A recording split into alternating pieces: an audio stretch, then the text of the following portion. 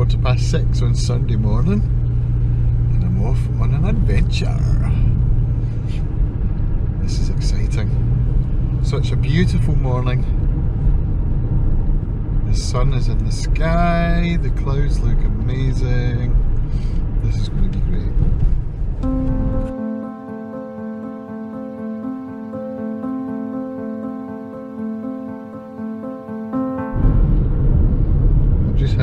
Of the mountain tops, shrouded in cloud. So as I approach the crest of this hill, I'm going to turn the camera around and let you get a look at where I am headed this morning. So here we go, you ready? Two, three, and go. Look at that. I'm going up into those peaks.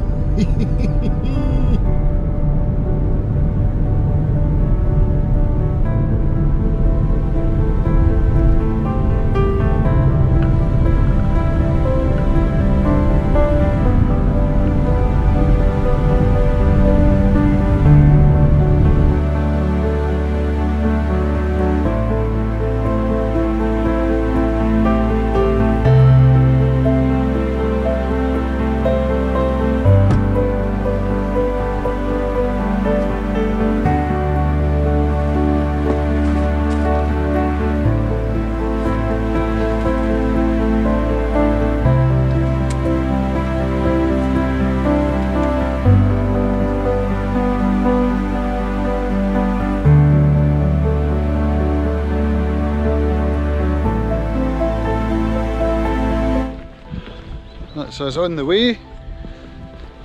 It's just past 6.30 so I'm anticipating 8 hours which hopefully give me enough time to get back home in time for my daughter to make it to the ferry without having to get the bus. Beautiful morning, absolutely perfect conditions.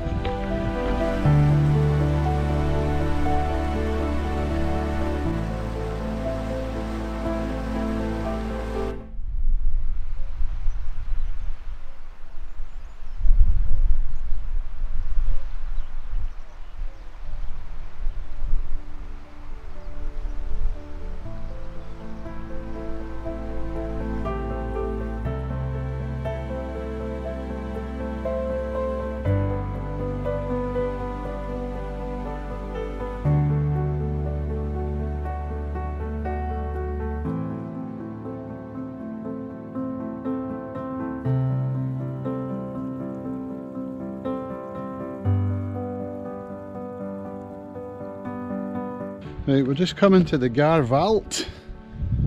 That's where this bridge is here. And then we're going to climb up that, which is steep, so I might drop a layer before I start that.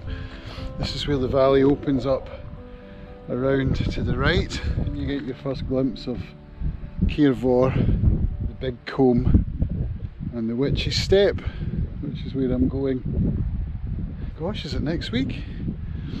16th of June. I'm going up there with a guide because I've never done it before and I'm a bit scared to go on my own. So today's partly training for that.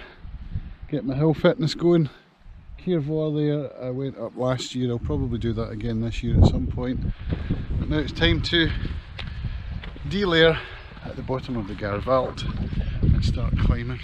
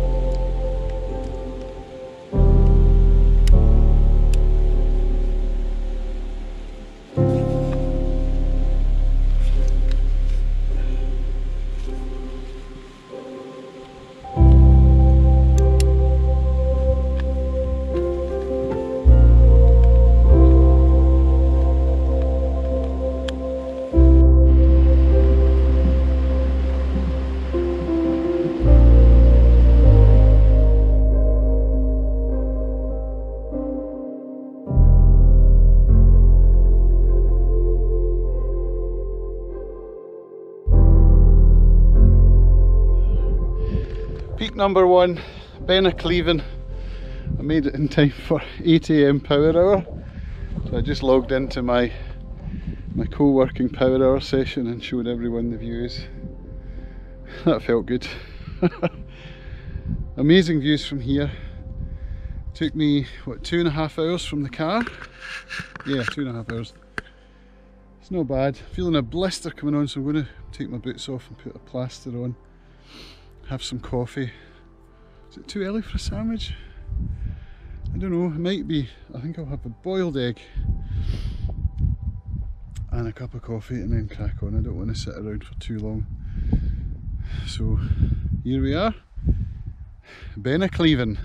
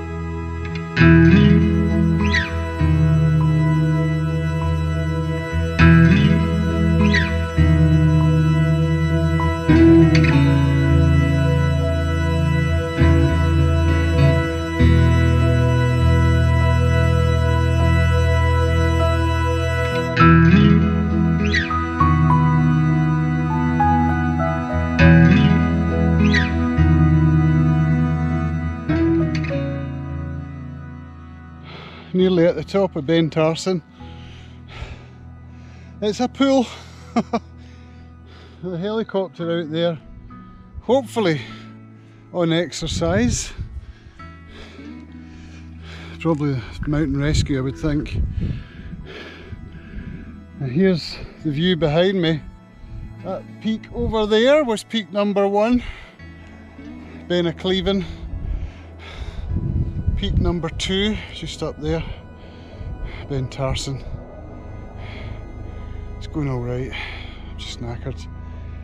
I'll get another cup of coffee at the top of this one. Onwards and upwards!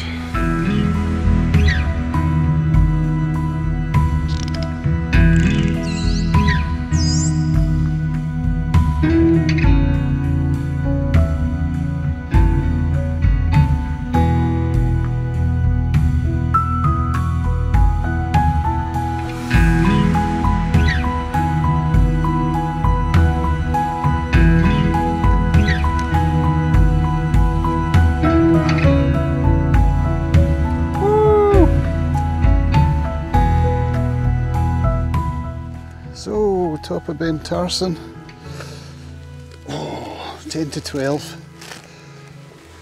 It's basically three hours from the top of Ben Beinn A'Chliabhain, but that was with a lot of stopping, making videos and such. You know what I mean? So I got a message from my wife to say there's no need to rush back because my daughter's going for an earlier ferry. Luckily she managed to get on because the trains are cancelled. I mean honestly. So she wasn't going to manage back to her halls of residence because the trains are cancelled. Unbelievable. I just bumped into a friend of mine running down, running actually, yeah. I'll drop a photo in. I took some pictures, I didn't take any video. A photographer friend of mine about whom I spoke recently on a video, Kirsty Smith. You should check out her photography website because her pictures are stunning. She comes up here a lot. I don't think she always runs. She does come up with camera equipment and camps out and she gets some of the most spectacular Arran photographs I have ever seen. So she's running today with a friend of hers, a ranger called Kareen. So the two of them were, were in running gear and trainers. And here's me pecking and panting all the way up the hill in my big clumpy hiking boots, my big backpack, carrying waterproofs and all sorts and they're just like choo choo choo choo. It's amazing to see. Oh, coffee outdoors by the way. There's not a breath of wind. Not a breath. Now if I had a drone, could you imagine the scenes I'd be getting today? unbelievable. And it was the same when I was up here a couple of weeks ago. Making me think it's always like this. of course I know different, but honestly, conditions for hiking today could not be better. Could not be better. Interestingly, Kirsty and Kareen are the only other two people I've seen. And I've been walking since 6.30 it's now midday. Where is everyone? Probably up Goatfell. Goatfell, can you see it? I don't know if it's in frame. It's just behind me there. Arran's highest peak at, how high is it? 867 metres, I think. Yeah, just under 3,000 feet. I think it's 867. This one, I'm not sure actually how high this one is let me just get out my OS map locator because that will tell me my elevation. That will be interesting. Let's have a look. So we are currently at 815 metres. So pretty high. Unusual to have no wind at this height. It really is. It's usually windy on all the peaks. Well, I say usually. How would I know? It's not like I'm up here all that often, but the only time I came up with my son was when we went up Goatfell together and it was windy as at the top of Goatfell that day and the cloud came down, we didn't get any views either. And since then, he hasn't gone back up. I think that was 2018 was it 2016? I can't remember. So, I'm having a great day, I have to say. A spectacular day. It's, it's something I want to do more of. As the summer progresses, I am definitely going to be doing more of this. It'd be nice to get out. Well, I'm getting out most weeks at the moment which is good. It would be nice to get out on big walks like these at least once a week. And I can make it happen, you know, if I structure my life in such a way that I can get time to do it. I don't know about the foul weather. I don't really expect I will come out in foul weather. I'll come out in changeable weather because I do want to get used to it. And what I'm finding is that I mean, even though this is only my second time here, I recognised some parts. Only last time I was going the other way, so I was going down the bit I just came up, and it was a little bit nerve-wracking in some spots. Um, but yeah, as Kirsty said to me when I bumped into her, she asked if I was getting out a lot, and I said yes, I was. And she said, "Aye, once you get your confidence up." And so, as I was skirting my way around the big boulder there, trusting these boots to hold on tight, I was thinking, yeah, this is a confidence thing. And so, yeah, I am getting my confidence up. It's interesting because, you know, having had a fall before, a pretty bad fall, it's interesting that I'm starting to enjoy this again. And I am nervous, you know, I'm not going to lie, particularly on my own. Makes me a bit more nervous. So I do send regular pictures home to my wife so that she can see where I am. Because, you know, I could turn an ankle. Anything can happen up here. I can't get over how calm it is though, and how warm. Unbelievable. Anyway, lots of yakking, not enough walking, so I'm going to finish my coffee and crack on with the walk. See you in a bit.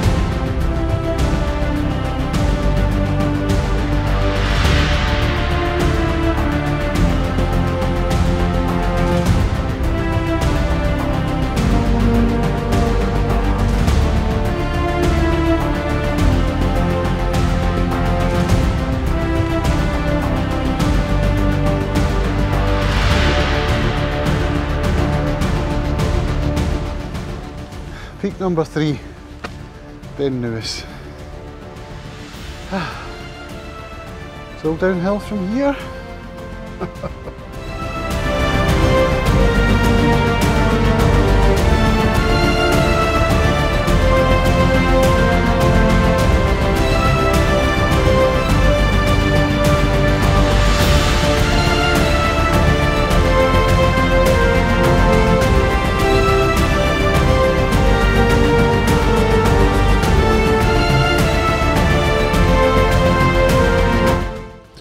the site of a crashed plane, a B-24 Liberator, bound for Prestwick from Newfoundland on the side of Beinn Nuis. So, a ravine. It's pretty challenging to get down this actually. But I did, and I'm really pleased with these little attachments here that allow me to hook up my walking pole without taking my backpack off. That's pretty neat. Now I'm going to climb up that and then I'm on the flat until I get to the Garvallt, so I'm more or less home. Another hour, should be at the car. Great day. Made it back to the car. 15 kilometres, 999 metres ascent. Couldn't have been a thousand metres, right? And sore feet. My feet are absolutely gaping. So I'm going to have to get insoles, I think, because it's the balls of my feet and the tips of my toes. So I think insoles might help. But I did it. It took way longer than I expected, over 10 hours. But it was great. I had a fantastic day. And now I'm going to order a battered sausage supper and go home for a bath. See you later.